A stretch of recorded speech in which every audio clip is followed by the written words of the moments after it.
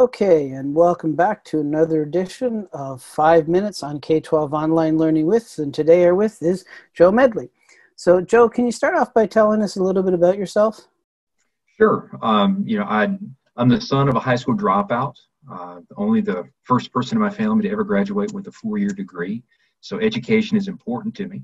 Um, went into teaching, taught history at the middle and high school level, have been a principal in, in a charter as well as in a traditional school, spent time with working with the Department of Education, and uh, most recently I had ended up opening a virtual school uh, five years ago, and this year moved into a different role with K-12 where I'm the Director of Leadership Development and provide training for all of the school leaders across the country in our network.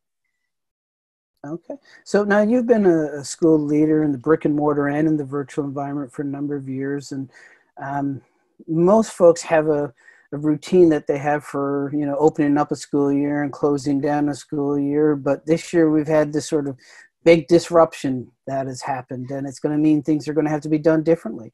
Uh, so what advice would you have for school leaders on things that they should be thinking about as they close out this year and look to start the coming year? So the the biggest piece of advice that I can come up with, and I want to focus on closing out this year, is this. It's that one word of reflect.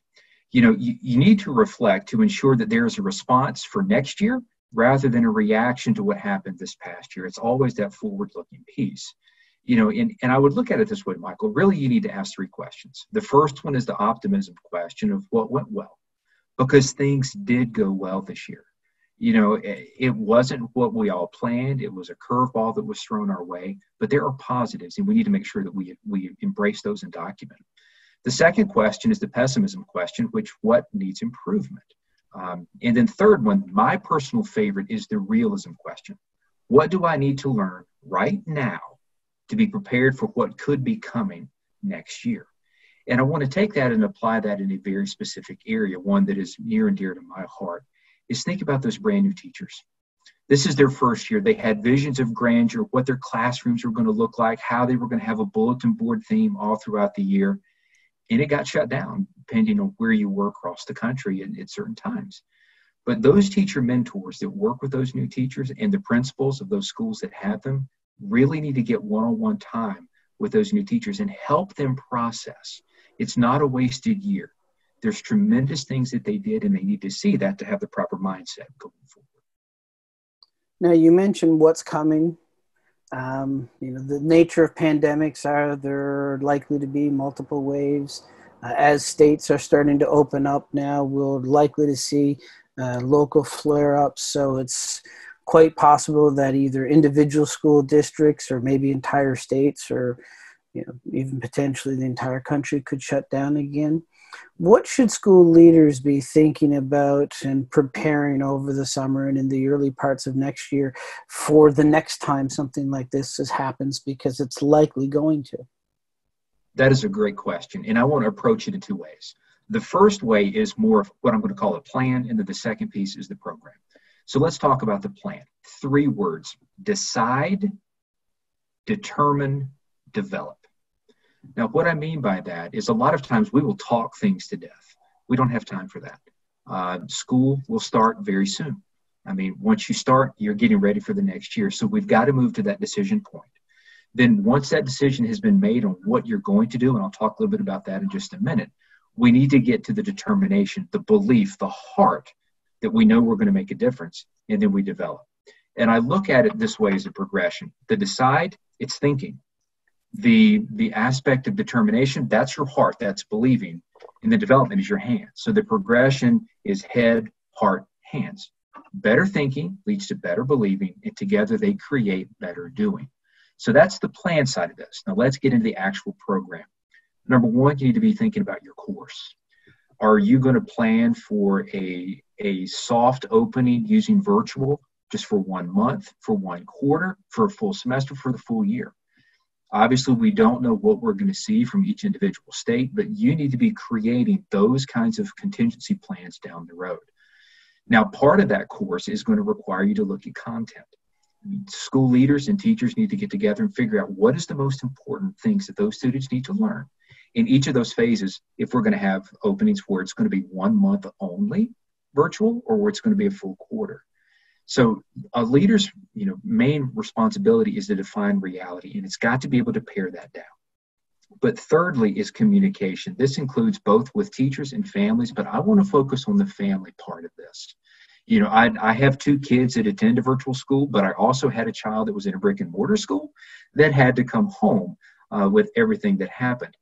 And school leaders cannot overlook the fact that they need to train their families. You can't just give them a computer. You can't just give them a Wi Fi hotspot and say, good luck. You've got to give them specifics. Things like don't have your student doing their work on their bed. What's going to happen? The kid's going to go to sleep.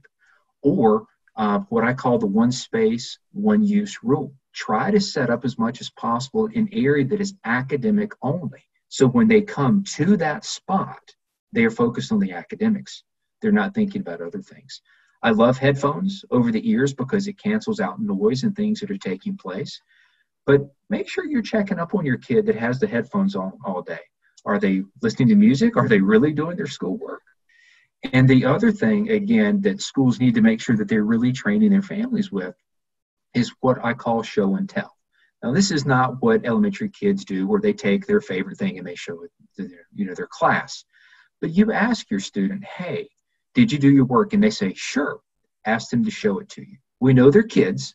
Sometimes they're going to stretch the truth, at other times they're going to outright not tell the truth. But you've got to make sure that you bridge that. But the key, the most important thing that schools need to teach families and communicate to them is if you see them wrestling with a difficult math problem or a long reading passage, let them struggle. It's okay. That's how they grow. That's how they learn. That's how they develop. And for parents, that's often hard, but schools need to make sure they're communicating those kinds of things to families. Fourthly, school culture. You know, we, we could talk a lot about school culture, but you can take the things that you do to build a physical brick and mortar school culture and translate it over to virtual.